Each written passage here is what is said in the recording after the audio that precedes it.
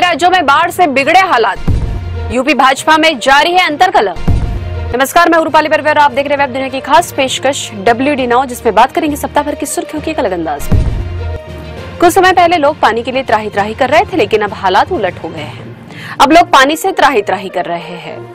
गुजरात से लेकर महाराष्ट्र, हिमाचल प्रदेश, उत्तराखंड, मध्य प्रदेश, दिल्ली, कर्नाटक, तमिलनाडु समेत अन्य कई राज्यों में, कई इलाकों में लोग भारी बारिश के चलते परेशान हैं। असम में बाढ़ की स्थिति में सुधार हुआ है, लेकिन इस समय गुजरात में सबसे ज़्यादा बुरी स्थिति है। बड़ोदरा के बाद अब नवसारी और सूरत में शहर के कई इलाके पानी में डूब गए हैं। सड़कें नदी में तब्दील हो गई है, सड़कों पर नावे नज़र आ रही है। डांग ज़िले में हुई भारी बारिश के कारण पूर्णा नदी खतरे के निशान के ऊपर बह रही है। नवसारी में बाढ़ का पानी घुस गया है। गुजरात के वडोदरा, सूरत, भरूच और आनंद जिलों में भारी बारिश के कारण सामान्य जनजीवन अस्त व्यस्त हो गया है। कुछ जगहों पर स्कूल व कॉलेज में अवकाश घोषित करना पड़ा। वडोदरा में 24 घंटे में तेरह इंच बारिश हो गई। बाढ़ में करोड़ों रुपए का नुकसान हुआ है, जबकि मानसून के दौरान सौ से ज़्यादा लोगों की मौत हो चुकी है। महाराष्ट्र के पुणे और मुंबई में भी भारी बारिश के कारण हालात बिगड़ गए। पुणे शहर में मूसलाधार बारिश के बाद सिंहगढ़ रोड और नदी तट से सटे अन्य इलाकों में बाढ़ आने के बाद बृहस्पतिवार को करीब 400 लोगों को सुरक्षित स्थानों पर पहुँचाया गया। निचले इलाकों में स्थित कई हाउसिंग सोसाइटी और घरों में पानी घुस गया कार्य और दोपहिया वाहन पानी में डूब गए। पुणे में भारी बारिश की चेतावनी के मद्देनजर ज़िले के अधिकांश हिस्सों में स्कूल और कॉलेजों में छुट्टी घोषित कर दी गई। पुणे के शिवाजी नगर में पिछले छाछठ वर्ष में जुलाई में तीसरी बार सबसे अधिक बारिश हुई। कल्याण में बदलापुर, बैराज जाम्बुल बाँध, मोहने बाँध और उल्लास नदी का जलस्तर खतरे के निशान से ऊपर पहुँच गया। मुंबई और उसके उपनगरों में भारी बारिश के कारण कुछ इलाकों में सड़कों पर जलभराव हो गया। इसके चलते यातायात बाधित हुआ और लोकल ट्रेन सेवा प्रभावित हुई। लगातार बारिश के कारण विहार और मोदक सागर, झीलें उफान पर है। मीठी नदी का भी जलस्तर बढ़ गया। मुंबई में 25 जुलाई को कम से कम 11 उड़ानें रद्द कर दी गई और 10 उड़ानों को आसपास के हवाई उद्योग की ओर परिवर्तित किया गया। उत्तराखंड के मदमहेश्वर पैदल मार्ग पर भारी बारिश के चलते पुल बह गया। इससे 106 पर्यटक फंस गए, हालाँकि उन्हें सुरक्षित निकाल लिया गया। हिमाचल प्रदेश में भारी बारिश के कारण कई सड़कें बंद हो गई। मौसम विभाग ने 28 जुलाई तक के लिए येलो अलर्ट जारी किया है। दक्षिणी राज्य कर्नाटक में अधिकांश बाँध पिछले कुछ दिनों से प्रमुख नदियों के जलग्रहण क्षेत्रों में हो रही मूसलाधार बारिश के कारण लबालब भर गए हैं। पश्चिमी घाट के तटीय और मलनाड क्षेत्र में पिछले पंद्रह दिनों से लगातार हो रही बारिश के कारण यहाँ से निकलने वाली कई नदियाँ उफान पर है। तमिलनाडु के नीलगिरी ज़िले में बारिश के कारण पेड़ उखड़ गए और बिजली आपूर्ति बाधित हो गई। भारी बारिश के कारण नीलगिरी में जनजीवन अस्त व्यस्त हो गया। राजस्थान और मध्य प्रदेश के कई इलाकों में भारी बारिश दर्ज की गई। हालाँकि मध्य प्रदेश के ही मालवा और निवाड़ के कई हिस्सों को अब भी बारिश का इंतज़ार है। इनमें राज्य की आर्थिक राजधानी इंदौर भी शामिल है। लोकसभा चुनाव के बाद उत्तर प्रदेश भाजपा की अंतरकला खुलकर सामने आ गई है। पिछले दिनों डिप्टी सीएम केशव मौर्य और भाजपा अध्यक्ष जेपी नड्डा के बीच दिल्ली में हुई मुलाकात के बाद मौर्य ने परोक्ष रूप से मुख्यमंत्री योगी आदित्यनाथ के खिलाफ मोर्चा खोल दिया।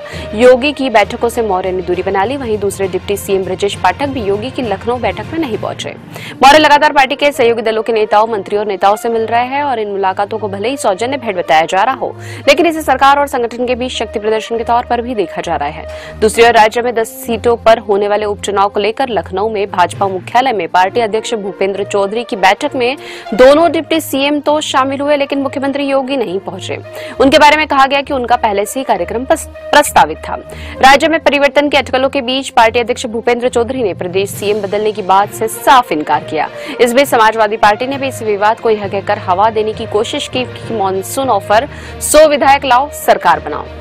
राज्य में जारी आपसी खींचतान के बीच योगी भी लगातार विधायकों के साथ बैठक कर रहे हैं। कुछ समय पहले योगी से टेढ़े चल रहे मंत्री संजय निषाद ने भी इस दौरान योगी से मुलाकात की और उन्हें अपना मार्गदर्शन बताया। योगी सबसे अहम मुलाकात पल्लवी पटेल की रही, जिन्होंने सिराथो सीट पर केशव मौर्य को विधानसभा चुनाव में शिकस्त दी थी। पल्लवी की पटरी अपनी बहन और केंद्रीय मंत्री अनुप्रिया पटेल के साथ भी नहीं बैठती। अनुप्रिया पिछले कुछ दिनों से यूपी सरकार की लगातार आलोचना कर रही है। योगी की मोदी से मुलाकात से पहले अनुप्रिया पटेल ने पीएम मोदी से मुलाकात की है, जिसे राजनीतिक गलियारों में काफ़ी अहम माना जा रहा है। बताया जा रहा है कि दोनों के बीच यूपी की राजनीति को लेकर चर्चा हुई। दूसरी ओर कांग्रेस महासचिव और सांसद रणदीप सिंह सुरजेवाला ने यह कहकर सनसनी फैलाने की कोशिश की है कि उत्तर प्रदेश के उप मुख्यमंत्री केशव प्रसाद मौर्य को दिल्ली से इशारा किया गया है कि मुख्यमंत्री योगी को ठोक दो। कांग्रेस नेता ने कहा कि भाजपा नेताओं में आपस में बुलडोजर वॉर चल रहा है। सुरजेवाला ने कहा कि मुझे नहीं पता कि दिल्ली से इशारा प्रधानमंत्री नरेंद्र मोदी ने किया है गृह मंत्री अमित शाह ने किया है या फिर पार्टी अध्यक्ष जेपी नड्डा ने किया है। ये भाजपा के नेता ही जाने। पार्टी में आपस में बुलडोजर वार चल रहा है। दिल्ली के दरबार यूपी के अंतरकलह को सुलह में बदल पाता है या नहीं, ये तो वक्त ही बताएगा। लेकिन फ़िलहाल योगी किसी भी सूरत में कमज़ोर नज़र नहीं आ रहे हैं। लेकिन उपचुनाव की 10 सीटों पर यदि परिणाम पार्टी के अनुकूल नहीं आते हैं तो इसमें कोई संदेह नहीं की योगी के लिए आने वाला समय मुश्किल भरा होगा। यदि उन्हें उपचुनाव में अपेक्षित सफलता मिलती है तो वे राज्य में और ताकतवर बनकर उभरेंगे अब खबरें संक्षेप में। जम्मू कश्मीर के कुपवाड़ा में पाकिस्तानी बैट ने किया चौकी पर हमला। एक जवान शहीद एक घुसपैठिए को मार गिराया। उत्तर प्रदेश, मध्य प्रदेश, छत्तीसगढ़, ओडिशा, गुजरात, उत्तराखंड और अरुणाचल प्रदेश में अग्निवीरों को पुलिस और राज्य सशस्त्र बल भर्ती में मिलेगा आरक्षण।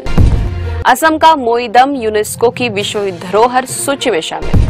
पश्चिम बंगाल की मुख्यमंत्री ममता बनर्जी नीति आयोग की बैठक बीच में ही छोड़ी। माइक बंद करने से हुई नाराज़। नीतीश कुमार भी बैठक में नहीं गए। सुप्रीम कोर्ट का योगी सरकार को झटका कावड़ यात्रा मार्ग की दुकानों पर नहीं लगेगी नेम प्लेट। सांस्कृतिक संपदा की अवैध तस्करी को रोकने और पुरातन वस्तुओं को उनके मूल स्थान पर लौटाने के लिए भारत अमेरिका के बीच पहला सांस्कृतिक संपदा समझौता। नीट पेपर लीक मामले में सुप्रीम कोर्ट ने खारिज की याचिका। कहा दोबारा परीक्षा के गंभीर होंगे परिणाम?